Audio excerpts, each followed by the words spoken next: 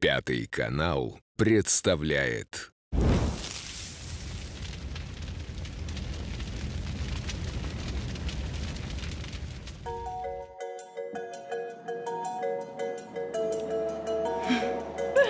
Смотри, угадаешь где? Да ну нет, ну откуда у меня деньги на турпутевку? Ну просто дом такой крутой, видишь? Угу. Сейчас, подожди секунду.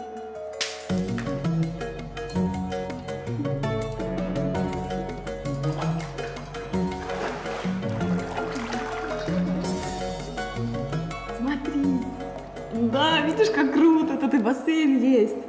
Че, завидно? Ну как что я здесь делаю, не видишь, что ли? Плаваю.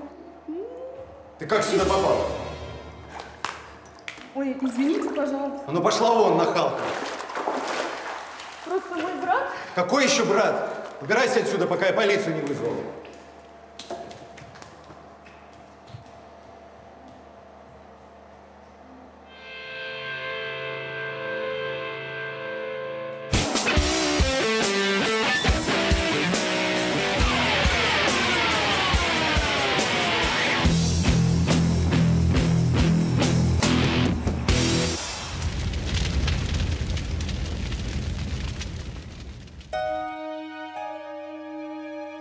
Варя поссорилась с матерью и сбежала к старшему брату Павлу в большой город. Он работал водителем в богатой семье.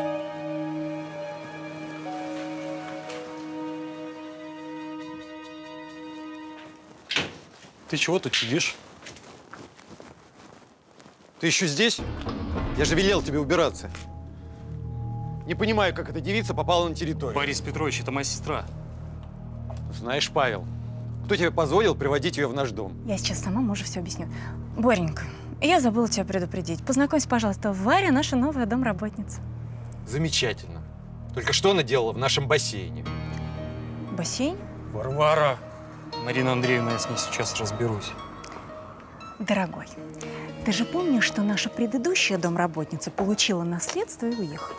Ты что, Варька совсем сдурела? Паш, ну я... Я устроил тебя к людям, у которых работаю уже 7 лет, без единого нарекания, а ты? Ну прости, пожалуйста. Ну что я такого сделала? Ну я не хотела. Где твои вещи? Там в прихожей. Тащи их быстро сюда. Зачем? Домой поедешь, к матери, в поселок. В то утро, уезжая, брат велел мне сидеть на кухне и никуда не высовываться. Но я не смогла сдержать своего любопытства и начала бродить по дому. Увидела бассейн, и мне очень захотелось поплавать. Ну, я же не знала, что хозяин дома. Потом я чуть ли не на коленях умоляла брата не отправлять меня домой. И, к счастью, в конце концов он согласился. Они вместе с хозяйкой уговорили ее мужа простить меня, и отныне я дала брату слово, что буду вести себя тише воды, ниже травы.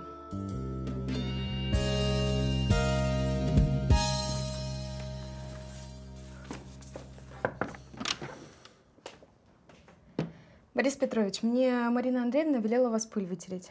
А я говорю, здесь не надо убирать. Но Марина Андреевна... Ты что, не слышишь? Разве хозяйка тебе не сказала, что меня нельзя беспокоить? Я простыл, у меня температура. Хорошо, извините, я не буду убирать, Спасибо большое. но можно я войду? Я сказал, дверь закрой с другой стороны.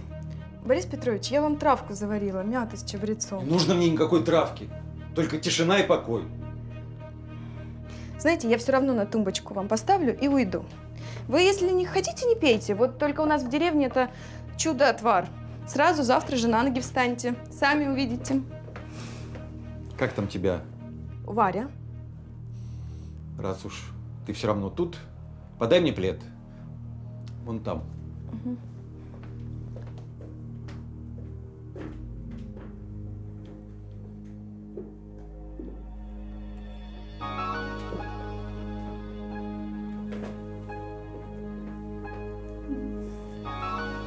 Спасибо. Мне убирать пора, я пойду.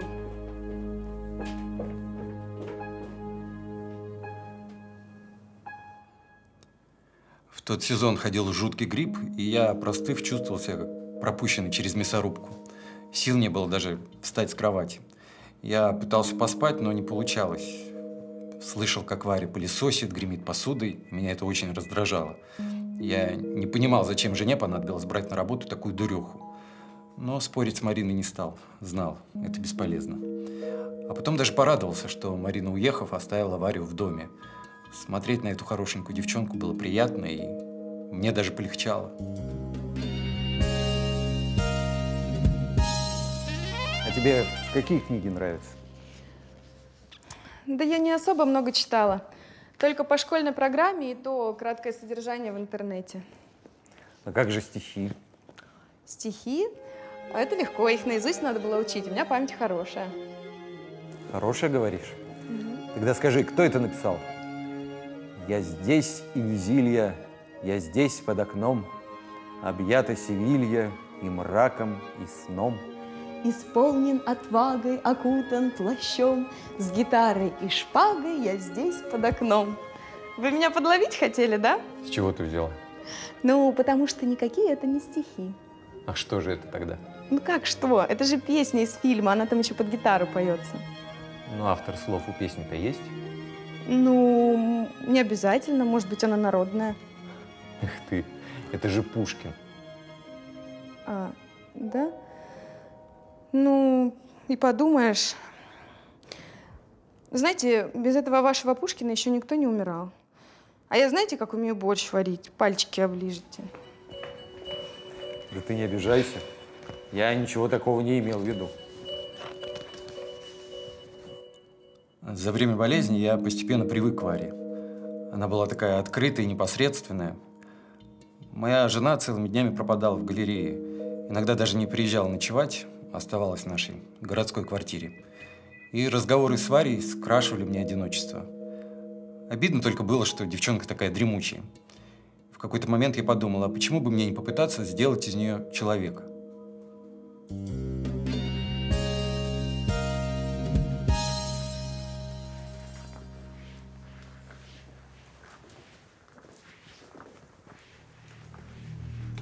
Что это ты каждый день полы намываешь?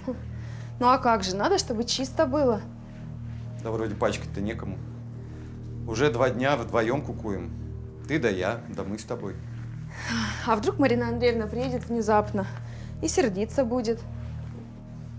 Ой, я вам мешаю? Да нет. Вот, книгу тебе принес. Почитай на досуге. Ну, я же говорила, что книги не очень привыкла читать. Начать никогда не поздно. Давай, давай, бери. Да, ну, хорошо, спасибо.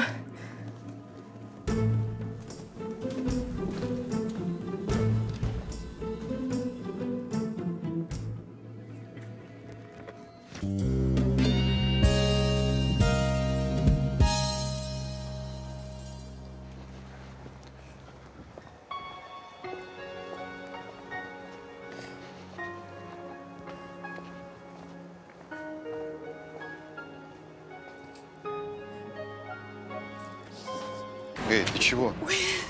Что случилось? Да нет, ничего. Борис Петрович, вы мне такую книгу дали. Тебе что, не понравилось? Да нет, что вы, мне очень понравилось.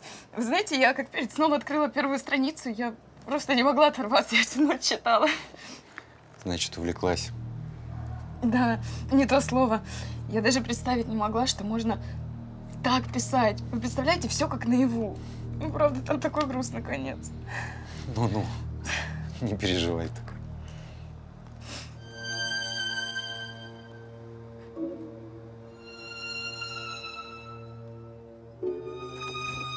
Эй, Варюка, ты где? Борис Петрович, добрый день. Марина Андреевна приехала. Замечательно. Значит, сейчас обедать будем.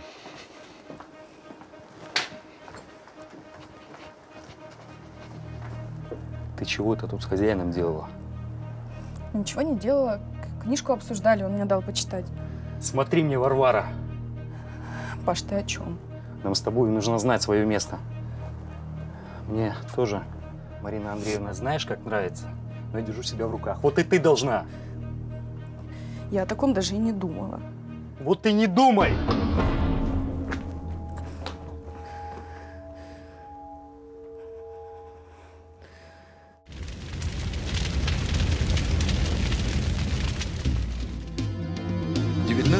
17-летняя Варя устроилась домработницей и решила поплавать в бассейне хозяев.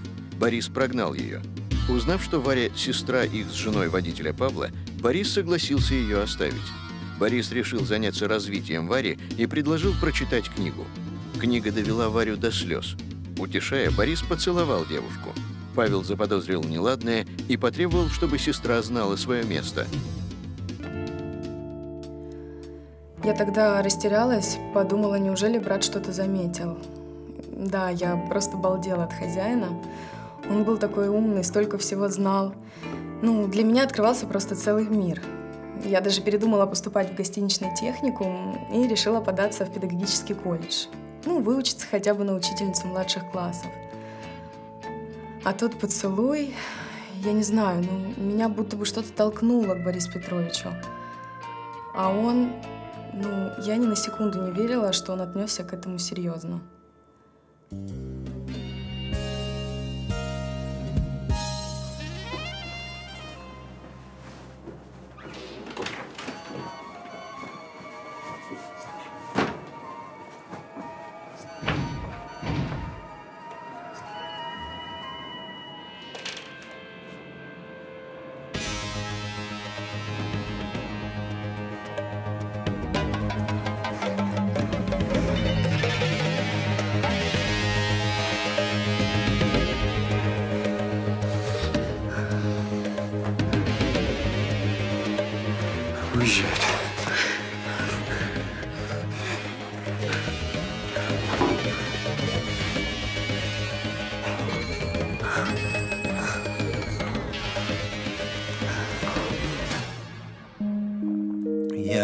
Сам не понимал, что на меня нашло. Видимо, просто не устоял перед Вариной молодостью, свежестью, восхищением в ее глазах. Мы стали близки. И меня мучила совесть. Я не собирался изменять жене. Да и прятаться по углам было противно. Но я испытывал такую страсть, что пользовался любой возможностью, чтобы остаться с Варей наедине. Тем более, что Марина по-прежнему редко появлялась дома, а иногда даже уезжала по делам своей галереи на несколько дней.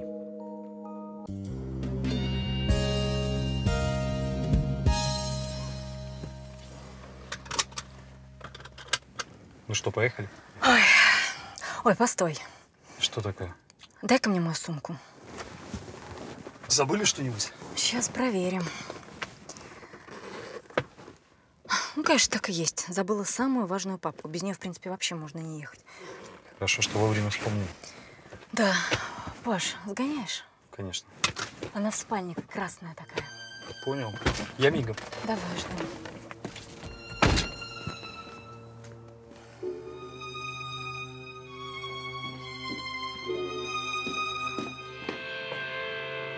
Варька!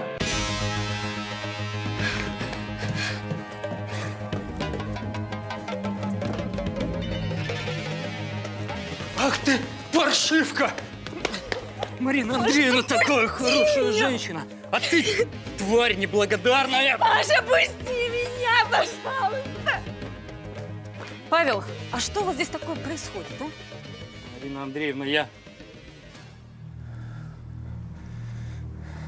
Моя сестра пыталась тащить ваши сережки. Ты же за нее поручилась. Простите меня, Марина Андреевна. Ну, в таком случае твоя сестра уволена. А где папка? Я про все забыл, когда увидел. Да черт знает, что такое происходит. Тебе красная папка нужна? А ты куда вообще смотрел? На твоих глазах девчонка ворует, а Я ты схожу спокойно- за папкой.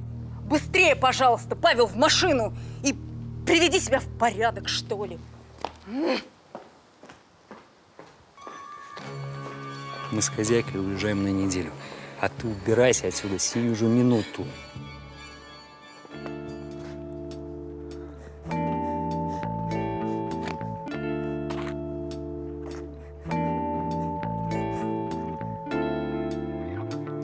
Мне было так обидно.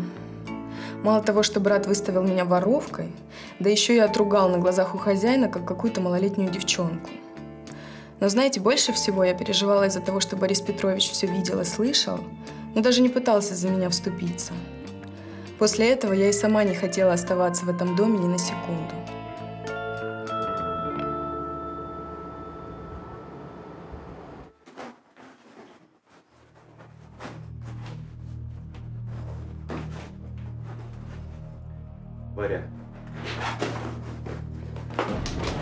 Пропустить! ну уходи. Я уволена, разве вы не слышали? И, между прочим, за вас. Ты обиделась? Ну прости меня. Ну что мне теперь делать? Я не хочу возвращаться в этот поселок. Так оставайся. Нет.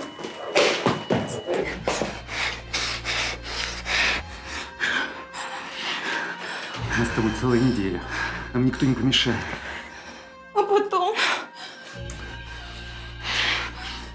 Я не хочу об этом думать. Пойми, я не могу без тебя. И ты меня хочешь, я же вижу.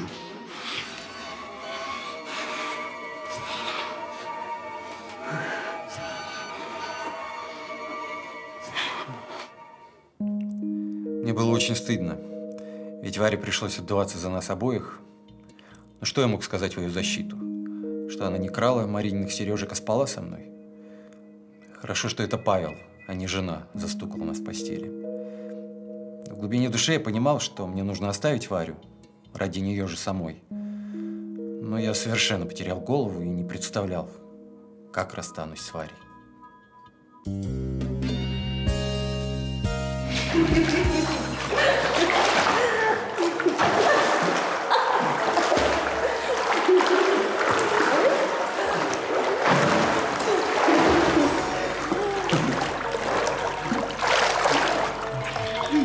плавать научилась? Настоящая русалка. Да. Это у нас в деревне речка была, и течение очень сильное. И мы всегда с девчонками на перегонки плавали. Все, попалась. Теперь не отпущу. А давай прямо здесь. Какая милая картина. Ну и как прикажешь это понимать? Значит, ты вот так без меня время проводишь. Ты просто жалкий кобель. Что, места свежего захотелось, да? Марин, я... Оденься, потом поговорим.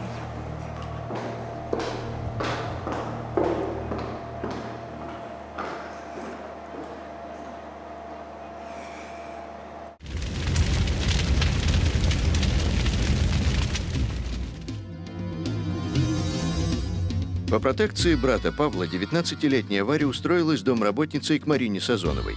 Муж Марины Борис часто оставался в коттедже наедине с Варей и в конце концов влюбился. Варя ответила хозяину взаимностью. Их охватила страсть. Павел застал сестру в постели Бориса. Хозяйке он сказал, что Варя пыталась ее обокрасть. Марина уволила Варю, но Борис уговорил любовницу остаться. Увлеченные друг другом, они забыли об осторожности. Марина приехала, когда Борис и Варя целовались в бассейне. В тот же день я уехала к матери в деревню, а через неделю поняла, что беременна. Мои попытки дозвониться до Бориса были безуспешны. Видимо, жена простила ему измену, и он пообещал ей больше со мной не видеться. Я не знала, что делать. Я обо всем рассказала маме. Но она сказала мне делать аборт. Но я очень боялась, мне было страшно, да и ребеночка жалко. В конце концов, я решила поехать к брату за советом. Узнав о моей беременности, Паша пришел в ярость.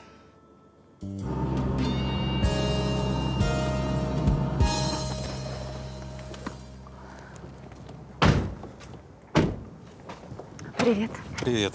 Как дела? Спасибо, хорошо, только устала. Очень.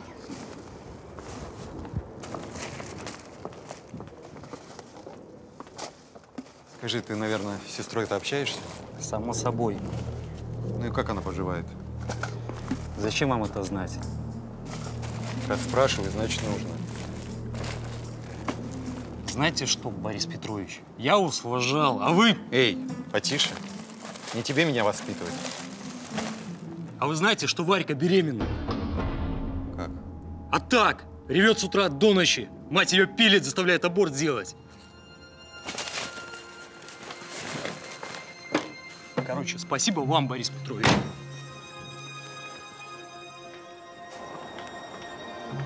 Какие интересные новости.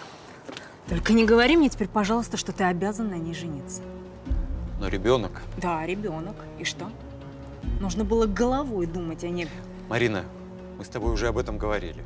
Да, я не устоял. Надо было быть круглым идиотом, чтобы подумать, что эта девка прыгнула к тебе в постель из-за любви. Пожалуйста, не начинай. Наверняка она решила, что все это принадлежит тебе. Откуда ты знаешь, что она решила? Знаю. Ты же ей не сказала о том, что ты не разорился только благодаря тому, что мой папа тебя поддерживает. А тебе, конечно, доставляет удовольствие лишний раз мне об этом напомнить. Да, потому что это правда, и ты об этом знаешь. Да-да, это правда. Но как бы то ни было, Варя беременна. Значит так, заруби себе на носу. Добровольно развод я тебе не дам. Марин, давай ты успокоишься, и мы обо всем поговорим. А о чем говорить? Хочешь развод? Подавай в суд. Только я буду требовать раздела имущества. И тогда посмотрим, с чем ты останешься и как ты будешь жить без поддержки моего отца.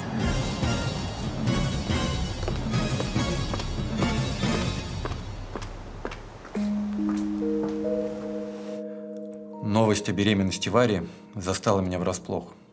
Первым моим порывом было признать ребенка. Но с отъездом Вари моя страсть не поутихла. Я подумал, что, скорее всего, Марина права. Что могла мне дать эта глупенькая молоденькая девочка, кроме своего прекрасного юного тела? С женой меня связывало многое, если не все.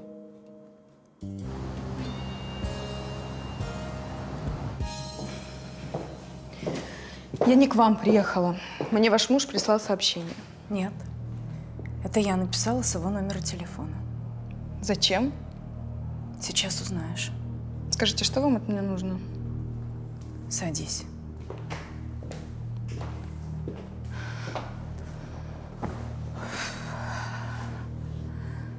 Я знаю, что ты беременна.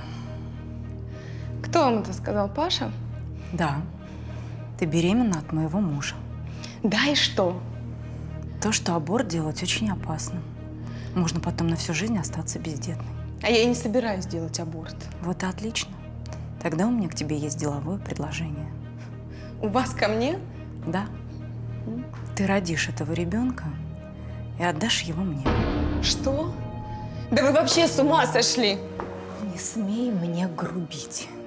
Я сейчас предлагаю тебе прекрасный выход из создавшейся ситуации. Я даже слышать об этом не хочу. А ты подумала, как ты одна будешь воспитывать этого ребенка? Я не знаю. А еще я не понимаю, зачем он вам. У меня нет детей. И уже никогда не будет. А твой ребенок от Бориса. Я никогда не отдам вам своего ребенка. Слышите? Никогда.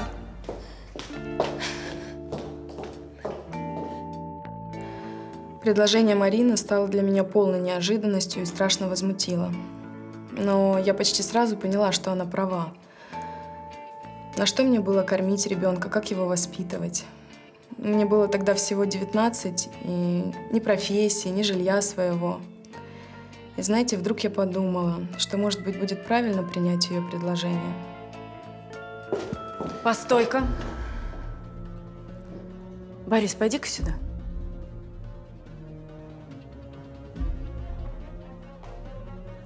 Уговори ее.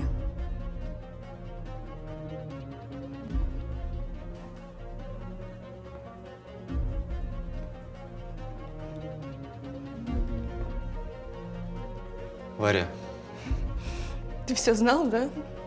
Вы с ней заодно? А может быть, ты вообще со мной спал специально, чтобы я вам ребенка родила? что ты несешь?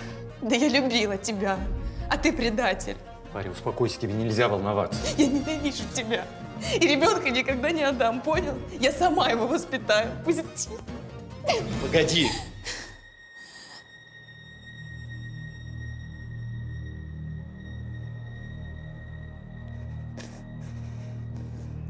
Марина, я... Я ухожу. Что?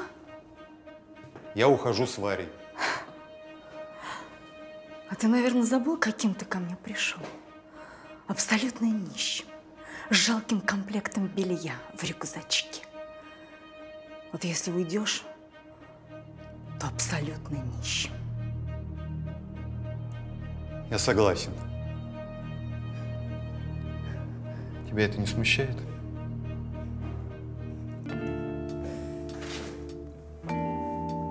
Борис с Варей уехали в город, сняли скромную квартиру. Борис получил от Марины развод и женился на Варе. Вопреки угрозам жены, он сохранил бизнес, и его доходов хватало на то, чтобы обеспечить семью.